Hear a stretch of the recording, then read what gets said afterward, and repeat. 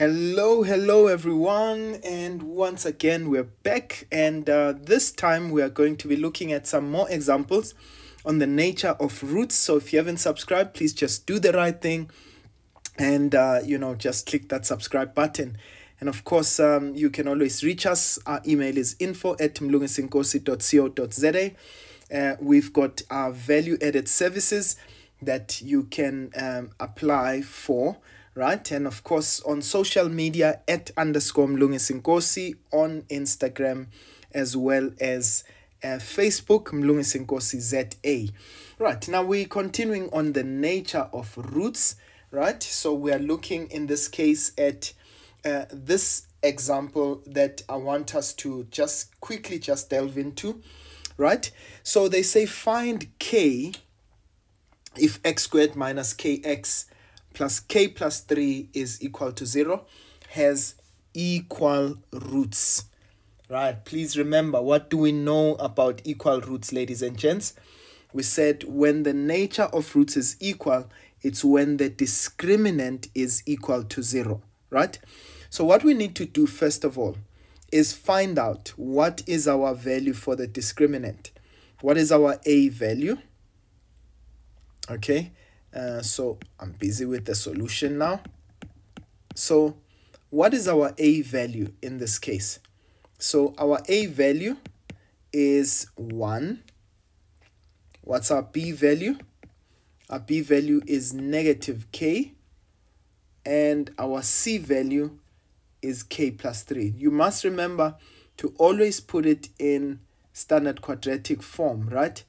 ax squared plus bx plus c so that you can be able to identify the value of a, b, and c. So our a value is the coefficient of x squared, our b value is the coefficient of the x term, and our c value is um, the constant term. Right, so let's work out the value of delta. Delta is equal to b squared minus 4ac, our b value, that's negative k squared minus 4 times a is 1 and c is k plus 3 right? So we've got k squared minus 4 times 1 that would be 4 into k plus 3 i'm sure uh, some of you are already seeing the answer there. So that's k squared minus 4k minus 12 Okay? Now, remember, when we talk about equal roots, we say in this case, for equal roots, the value delta has to be equal to 0. So, for equal roots, we know that delta is equal to 0. So we know it means in that case k squared minus 4k minus 12 is equal to 0. Okay, we can factorize there factors of 12 such that when I subtract them uh, will give me 4, right? So that would be um, 6 and 2. So that's k, k there. That's 6 and 2. And of course, in this case, when we've got a negative in front of the constant term, all it simply means is that the signs inside the brackets are not the same, right? So the bigger product will take the sign of the middle term. So we've got 6k and we've got 2k, right? So which one will be negative? It means our 6k will be negative, so there it is there and 2 over there. Okay, so what can we say? The value of k is equal to 6 or k is equal to negative 2, right? Now, if you wanted to find those roots, uh, what they actually are, uh, you can do so, right? All you would need to do is just substitute that uh, back into that original equation because you've got uh, either one of your k values, right? Um, so I want us to uh, just take another example here. Uh, right, so um, let's take the next example. So they say to us, we've got ax squared plus bx, which is equal to bx squared plus a. Right, so they want us, uh, what can you say about the roots of the above equation? So what we need to do first of all, ladies and gents, is to try and put this in a as a in a standard quadratic form. So I'm gonna group all my x squared terms together, my x terms together, as well as my uh, constant terms, right? The ones without the x. So I see I've got uh, ax squared. I'm gonna take the bx squared to the other side. So that would be minus bx squared okay i'm going to keep that bx there right and of course that becomes minus a is equal to 0 now if we take out the common factor which is x squared there we'll be left with a minus b times x squared right plus bx minus a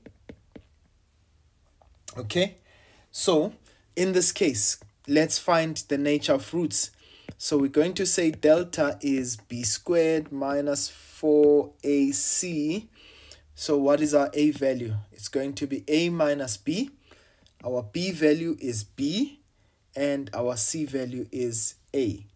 So that's going to be b squared, right? So there's our b value there, coefficient of the x term, minus 4 times our a value is a minus b and our c value is negative a right? So we're going to have b squared minus so if we multiply throughout there in fact let's take let's multiply the 4 times the uh, uh, negative 4 times negative a that will give us positive 4a into a minus b, right? So we've got b squared plus 4a squared minus 4ab, okay? Right, so this is multiplying inside there. 4a times a will give us 4a squared. 4a times negative b will give us negative 4ab, right? So that's the discriminant. Now, I want you to note something there. What can we say about that discriminant, right? I can see that, um, you know, um, we can actually just try to factorize this somehow if we go a little bit further. So that's 4ab plus 4a squared. So what is this? It's going to be b minus 2a all squared. Okay? So if we're taking, we're factorizing here, so that will be b minus 2a and that will be all squared. Now what does that mean? Right? So it means that the roots in this case will always be positive. So delta will always be positive because remember, we're squaring what is on the inside. So whether what's on the inside is positive or negative, but the fact of the matter is delta is in this case going to be positive. So I know that roots in this particular case will be positive, right? So, um, okay, yeah, there's my phone there uh, ringing.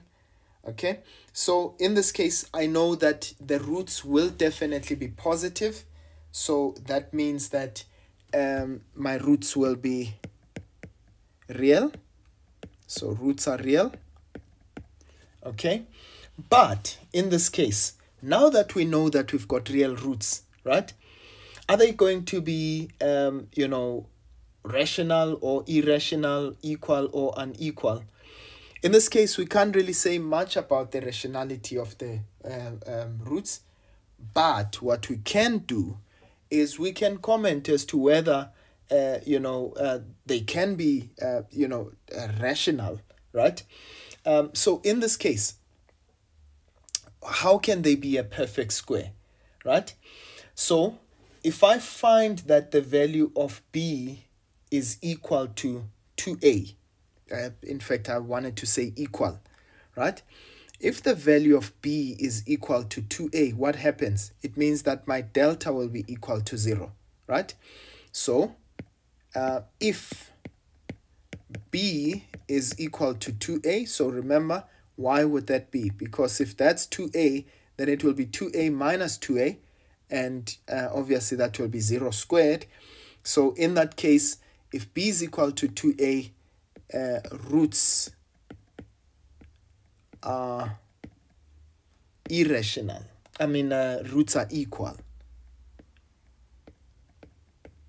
Okay.